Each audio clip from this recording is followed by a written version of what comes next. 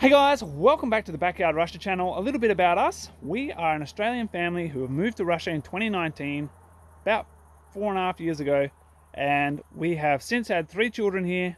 We show life in Russia, what it's like, what are the shops like, what is industry like, what is the infrastructure like, is, there, is it getting upgraded, is it getting kept up, how is development in Russia, especially with all these sanctions. You can find that all out in our channel uh, on the videos that we've made subscribe and check out the channel on the channel page. It's all there. Today we're going to be doing a video with the expat American who also does videos like that. We're going to be interviewing each other. On his channel, I will be sharing something that is exclusive information. I have not shared this story with anybody. It's a little bit about my personal history and uh, I think you guys will find it interesting. So definitely head over there. The link will be in the description and in the cards at the end of the video. So stay to the end. And I will also be asking him a question. Uh, well, he will be sharing with us a story that has not been shared on the internet anywhere else. So definitely stay to the end, and we'll see you in the interview, guys. Uh, so let's just start by, for anybody watching the channel who doesn't know you, who is the expat American? Very good question. Um, so I'm a man with kids, first and foremost. You can hear one of them rolling cars on the floor behind me right now. Uh, but I am a Floridian. I was born and raised in Florida. I was born in 1974. I'm 48 years old. I went to film school at New York University in New York. So I, you know, I spent a lot of my time in Florida and New York. And then I moved to California and worked in the Hollywood movie business. So I did that for a few years. Uh, went back to Florida, opened up a small business, um, made some money, became an older man, had more children. And my wife was born in the Soviet Union. So she was getting homesick, and we decided, oh, what the heck? Let's go live in Russia for a while. And uh, eight days after moving here, uh, the special military operation began. And we were like, whoa, what's going on? Did we make a mistake? What's happening? And we were, yeah, I was definitely concerned for my kids. And so, since I had the, the film background, I decided I would start a YouTube channel and I would let the West know. I would show the West that Russia is a normal place. And I would do it by making shows that are informative, but more importantly, entertaining and funny. And every episode is about something specific. We're really trying to make tight, fun, cool, I'd say 20 yeah. minute dramedy is about normal life in Russia. Yeah. And um, yeah, I've, I've, watched some of your uh, videos. I've found out some pretty interesting stuff. I think one of the ones uh, I saw was where you went and did was it like a like a day with um, Father Joseph Gleason? Yeah, yeah, that one's popular. Yeah, yeah. yeah Father uh, yeah. Joseph Gleason. He's uh, an American who became an Orthodox priest and then moved to Russia to be an Orthodox priest. So it's definitely a fascinating think, um, story. He's a fairly, I don't know, popular, but he's he's mentioned quite a bit in the kind of move to Russia circles. Mm-hmm. Um, yeah, yeah. I noticed. So it was very, it was a very interesting video. Ha- have you had this where people straight away just because you live in Russia, they straight away dismiss your opinion or your views as being just either either state propaganda or you're you're not informed. Um, you basically you can't get access to good information uh, because you live in Russia, and therefore everything you say is just going to be repeating what the government says. Is that something that you get? Oh yeah, yeah, definitely, definitely. People think that uh, I've lost my mind, and, and I've, I've, I've told all my friends about the channel, and sadly, some of them have watched the channel and they're like, "Oh my gosh, Joe's crazy." Um, especially since you know my wife and I got the chance to speak in Russian Parliament, Gosduma, um, and we we went to the St. Petersburg Economic Forum, International Economic Forum. We spoke there. Then the Wall Street Journal has contacted me and they wrote an article about me. And so people, I think that a lot of people that used to know me, they look at me and they think that I am now uh, infamous, not famous, but I'm, I'm uh, like I've turned to the dark side. Okay, well, slight te- technical difficulty there. So, um, yeah, like what you were saying about the um, about being interviewed by Wall Street and stuff and being uh, infamous, I, have noticed that like even if the media looks at you like in a positive light, they still sometimes get the facts all wrong. Yeah. So like if they have they they put out what they want the audience to hear. So they take whatever they've done the interview of, and then they spin it to whatever the message is. Yeah, but, yeah. yeah. I've had I've had some Russian uh, news channels interview me, and, and they've innocently gotten the facts wrong. But it's not it's not a big deal. They still have the heart of what I feel and think. Um, yeah. But then with the interviews that can be more hostile, like when someone from the West interviews you, they can be very friendly and talk to you for a long time and ask you lots of questions. And then when they finally post the interview, um, they take maybe 5% of the interview and, and they present it in a certain way. And um, yeah. they can make you look bad. So, you know. But it's, but it's uh, good. It's it, unfortunate. it keeps me sharp, keeps me on my toes. I kind of like it. I'm, I'm oh. kind of, I'm, I'm like yeah. centered. I'm myself. I'm going to, you know, answer honestly. And um, it's an exciting time for sure. So, um, like as far as moving from America to Russia, did you have to? Did you bring any stuff with you, or did you just grab a few suitcases and uh, fly over? You know, it's funny because I'm I'm 48. I'll be 49 soon. So when I moved, I think I was 47. It's been a year and a half, and so I I spent practically a full life in the U.S. and I had a house and and it was full of stuff and an attic full of stuff and I had a car and I looked into you know, moving a lot of stuff with me. But it just, for me, it was not economically feasible. It just, it was, if you're not sentimental about this stuff, it's going to be, in my opinion, much better financially just to start over. And I sold my car. I put most of my stuff in my attic and we packed just a few things as if we were going on vacation. You know, everyone had a backpack and um, you know, one of those wheeled luggage bags. And, uh, yeah. you know, I, I selected toys for my children out of their, their many toys, some of which were toys from when I was a child, because I, you know, was in the same country for over 40 years. And uh, we came here with our precious stuff, like like this shirt, for instance, my only my only country boy shirt.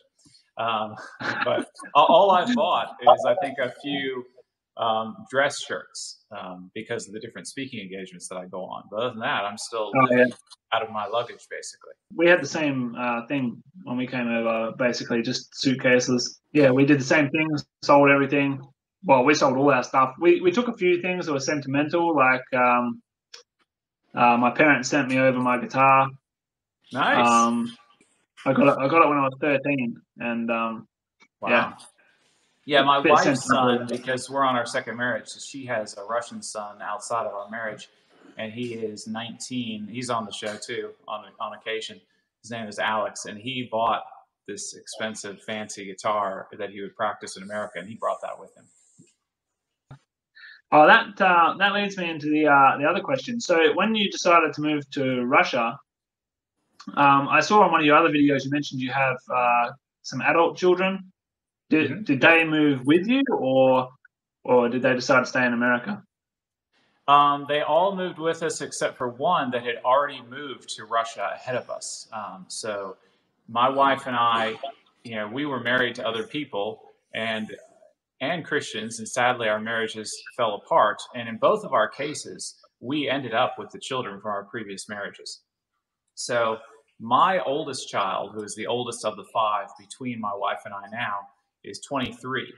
And so he was ready, he was university age, and he wasn't really sure what he wanted to study. And since we were all living in America and we knew people in Russia through our church and through my wife's contacts, and we knew that Russia was way cheaper to go to university, uh, we suggested to him that he go to Russia and go to university there. So he went there and and did that ahead of us. And this was before we were even thinking about moving. Um, and then the the world event happened where we were all under lockdown for a couple of years around the world. And um, I, won't, I won't say what it is because you know what it is, and I don't want the video to be suppressed. Sometimes the videos can be suppressed if you say certain words on YouTube. Um, but he uh, he he was going to university here, and we were living separately in Florida. And then we just decided, because my wife was homesick, let's all move. So we moved, my wife and I, with my daughter from a previous marriage, who is now 19, her son, who is who is about to turn 19, and our two little children we had together, uh, Christoph, who is eight, and Maxime, who is now four. And so it's quite a large crew uh, having all these children for sure. But it's it's been an exciting adventure, and and now our our other older ones are in university. So that's three adult kids and two yeah. little kids, or I say normal kids. Yeah. They're not weird adult children. weird adult. Oh, very good. Uh, so, as far as uh, residency goes, how I presume the children have Russian citizenship, or how does that work? So, of, of, course, my wife was born in the Soviet Union. She has Russian citizenship. Her son that she had here has Russian citizenship. Our two little ones we had together when we were living in America, they got American citizenship, and we also had a va- family vacation to Washington, D.C. with their birth certificates, and we applied for their Russian citizenship so that they would be dual citizenship.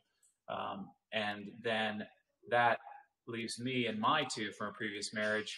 I now have my residency because I'm married to a Russian woman, and my my other two children they have visas for going to university. Um, and now my oldest, who's 23, uh, he now has a, a residency. Uh, I'm not sure exactly what type of residency it is, um, but he is able to work in Russia for a certain period of time, for several years, because of this residency that he's finalizing now. Yeah, because when we, we first came over, I was on student visas. And uh, to start off with, you, you basically, from what I understand, you, under, you um, renew it every year. And uh, we just kind of thought, you know, we'll we'll get the student visa for the first year. We'll try and get temporary residency in the first year, and then uh, if we if we if that doesn't work out, because it's you have to do a language test to get it. And uh, we thought, oh, if we don't pass the test, you know, we've got another years. By the end of three years, if we don't know Russian, like to be able to pass a little language test, then uh, we don't deserve to be in the country. But um, with the with the way the rules change or world events change everything, you know, it's um, it's nice to be on something a little bit more stable. Is that something that you noticed, like when you got residency, as opposed to being on like a tourist visa or uh, like having having um, uh, like a permanent status? Oh, like absolutely. for instance, uh, with with COVID, like, uh, could you imagine if you had to leave the country? Say you went to Estonia because you of your uh, your six months was coming up. You went to Estonia, and then COVID happened. The borders all shut. Like, yeah, no, absolutely. I mean, now that I have residency, I don't have to leave, um, and I feel much better. And when I didn't have residency, it was just a visa. There, we were watching the dates on the visa. Like, oh man, you know, when might I have to leave? And although we enjoyed the trip to Estonia, it is stressful. Things can go wrong. Like you said, there's a special military operation. Um, and while I was over there, there was word that they might close the border. And like within days of me coming back into Russia, they did close the border temporarily because they decided to, on the Estonia side, to demolish um, a monument from the 40s, uh, from from the Allied conflict, and um, mm. you know, which is which is crazy you know and, and, on top of that um, another crazy story is when we were going to estonia because only i had to leave um, my wife. When, when you moved to russia what was something that you noticed uh, what was like the main difference? Something that was like obvious the first thing that kind of hit you when you moved to russia that was different than america. And it can't be the language.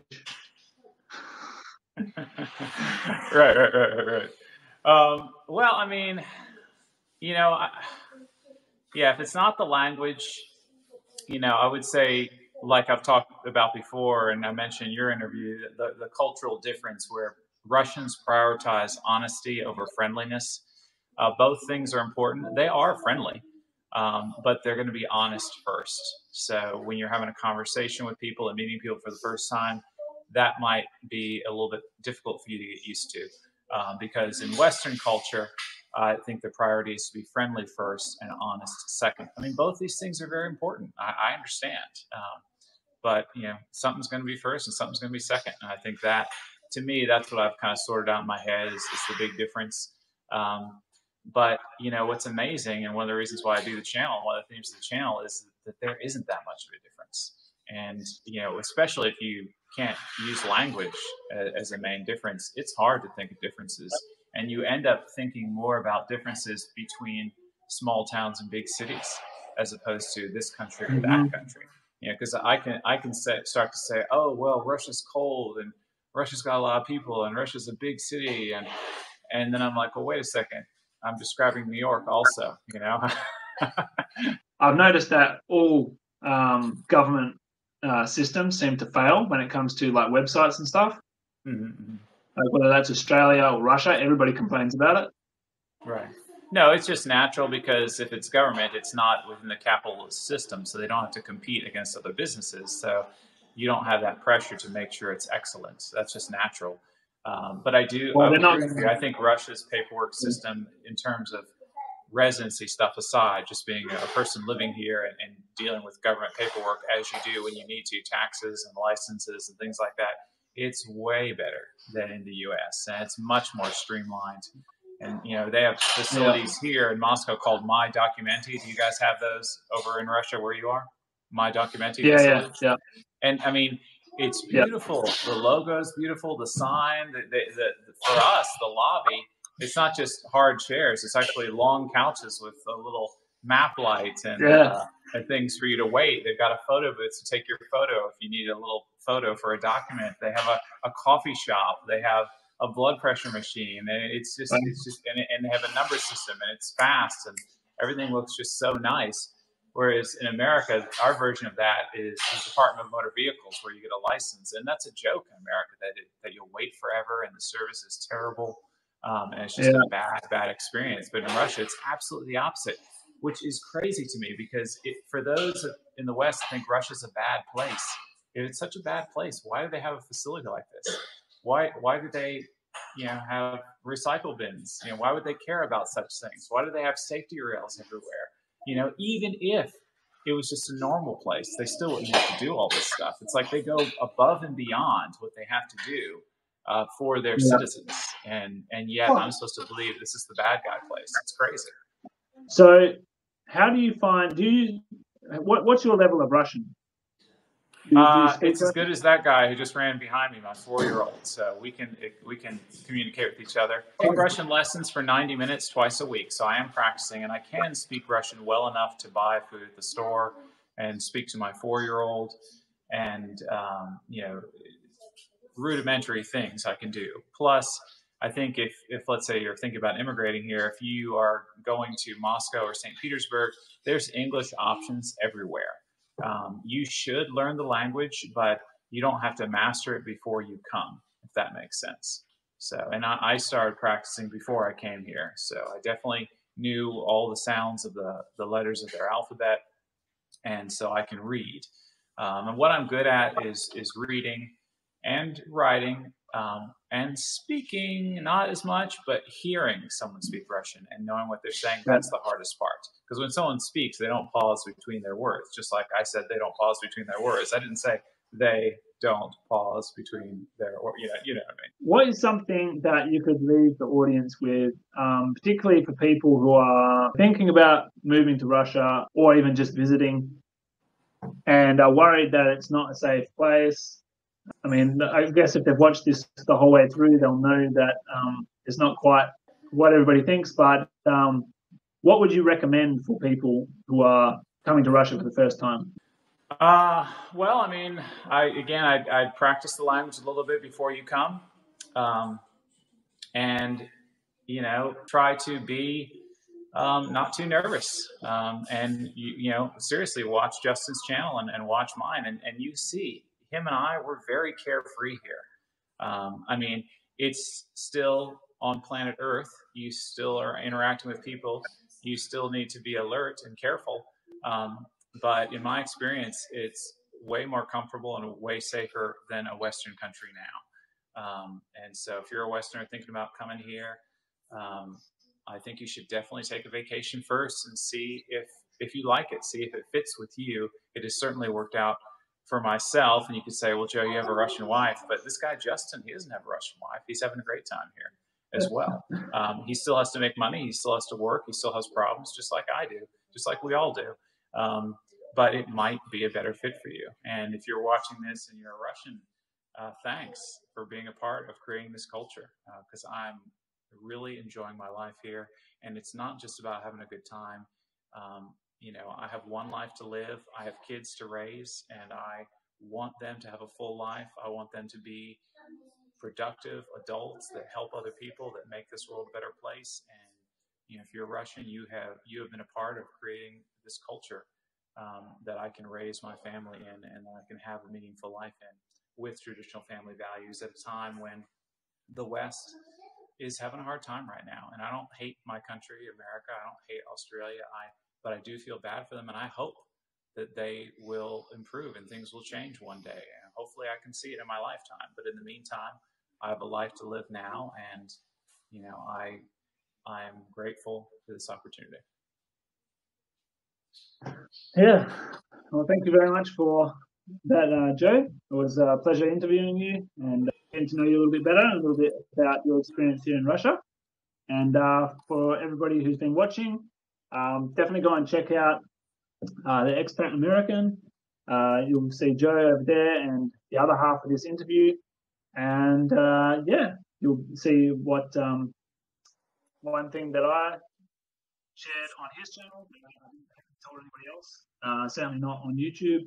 And uh, yeah, there's many more other great uh, videos on his channel. So definitely go and subscribe to his channel. And um, yeah, thanks again for watching. If you like this video and might see more stuff like this, put a comment down below. And until next time, take care. I'll see you. Yeah, Justin, and hopefully we'll see each other in person and do a show together one day. That would be great. That'd be great for two reasons. One, I get to meet you, and two, it means I'll be getting the car. Hopefully. awesome, dude. Uh, See you soon. Cool. You know, and, and, on top of that, um, another crazy story is when we were going to Estonia, because only I had to leave. Um, my wife and our two two young children together came with us because we would make a vacation out of it. We're a married couple; we want to stay together, right? So, mm-hmm. um, you you take a bus, they stop you, um, they open the doors. You know, Russian police come on. They check all your passports. You know, it's dark. It's nighttime. It feels like a Hollywood movie, like scary. You know, but there's nothing to be scared about. They have to check the paperwork. You know, but it's, it is interesting. Um, and then they get off, and then the bus continues down the road, which is kind of the no man's land where you're crossing from from one country to another. And and in this case, it's it's a bridge as well. Um, and then you get to go through the same thing all over again with the, the new country where they come and they check everything. And in this case, they had us get out of the bus and go through a, a facility that they have set up there on the border. And they checked our paperwork and our passports, and we messed up. And my eight year old, Christoph, his American passport had expired.